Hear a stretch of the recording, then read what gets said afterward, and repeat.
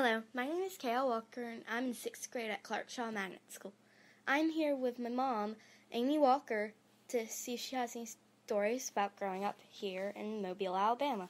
So, Mom, do you have any interesting stories to share? Hey, KL. Uh, yeah, actually, I do have a story after looking through some of my old photo albums and trying to figure out if I'd done anything interesting as a kid, which I know you can't imagine me as a kid. Uh, yeah, when I was younger, I had a best friend named Carrie, and her daddy was the president and general manager of one of the local TV stations here in town. And so he was able to get into all kinds of different events and things like that with press pass and everything. Uh, so one day she calls me up, and it was in June. Um, it was about a year after we graduated high school. So she calls me up and wants to know if I want to go out that night. And I say, sure. So I said, why? Where are we going? We're going to go see Ray Charles. I said, Ray Charles, what are you talking about? Well, her dad had secured tickets for me and her and him and another friend of ours to all go to the Ray Charles concert, which I didn't even realize was going to happen uh, down at um, the old Civic Center at Expo Hall. And nobody ever came to Mobile anymore. It, after the 80s, something happened and there was all kinds of scandal and rumors and things. So nobody ever came, music acts, big music acts, to Mobile anymore. I mean, nobody came. Uh, so, okay, yeah, let's go, let's go. So we went to this concert, and I mean, it, you you don't know, I'm sure, Ray Charles very well anyway. You'd probably recognize him if you saw him. But he was a big deal back in the day. He was a big deal before I was even born. And, you know, I don't remember all of his songs, but I did like his songs. I liked some of the more, you know, jazz oriented songs. And at the time, he was doing this big campaign, uh, advertising campaign for Diet Pepsi. And he had these little, these pretty little girls that would do like backup singing for him, and it was a thing. They called, I think, the uh huh girls or whatever. So it was a thing back then, and so everybody knew who he was. Anyway, so he comes to Mobile,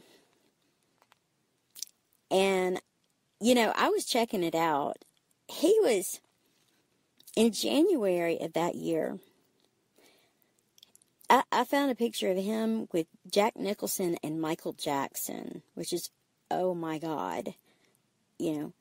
And then I found out uh, about 10 days after that, he went and did this big inauguration show uh, for HBO for the Clintons when he was first elected, and it was a huge deal there were all kinds of famous people there. There was, you know, you know, there's a picture of him and Sidney Poitier and Harry Belafonte.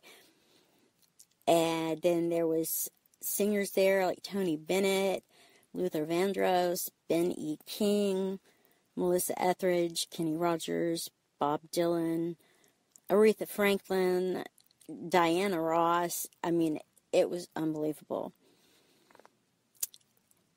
In March, he released an album and was in Jet magazine and with was doing a song with INXS, which is unbelievable. Uh, also, th- that year in March, he did um, something at the Waldorf, Waldorf Astoria with the New York Boys Choir, and the tickets were six hundred dollars.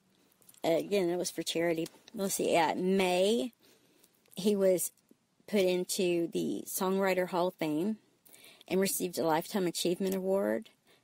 It was presented to him by Billy Joel. And, and I know all of you people have to know who Billy Joel is. You don't know who he is, but you know some of his songs. And he was there with, with legendary people Paul Anka, Berry Gordy, Lou Rawls, Bobby Weinstein. Um, that that was in May. Now he came to Expo Hall on June 8th of 93.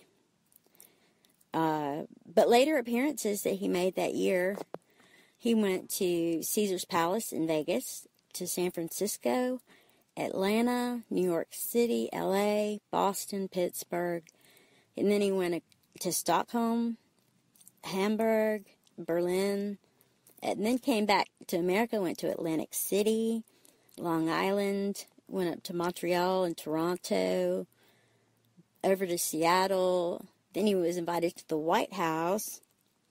Then he went over again across to Europe, to Brussels, Frankfurt, Munich, Barcelona, Milan, London, Paris, Stockholm, Oslo, and ended up in Kingston, Jamaica. So he did all these huge appearances in these huge cities around the world. Uh, the one he did in one of the one of the German ones that he did was with Fats Domino. I mean, how unreal is that in Germany? Having our, you know, blues and jazz legends doing concerts over there. And so then he comes back to Mobile, which was crazy. Everybody goes to New Orleans, or they do the music festivals and stuff now, which is, he did a few of those that year too with some really famous people. But it, it, it was, it was a huge honor to, to see him because I knew that he was like super famous. Well, then afterwards, her dad surprised us we went outside and went up to his tour bus and got to meet him. And we stood there for just not very long. We kind of walked right on in. And I guess it was like a backstage pass, but he was on the road. I mean, he was always going. There was no backstage at this point.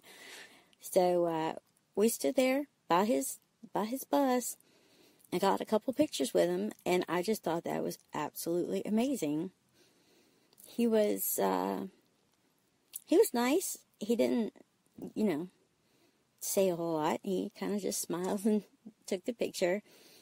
And just about right after that picture, that last picture of us, he climbed up on the tour bus with his uh-huh girls and left. That was it. And I don't remember hearing much about this concert you know, in the media and stuff before or after. I did find a newspaper clipping, I think the day after or a couple days after. So that's my story. That's just one of many, I'm sure. And uh, there are definitely adventures to be had if you keep your ears open.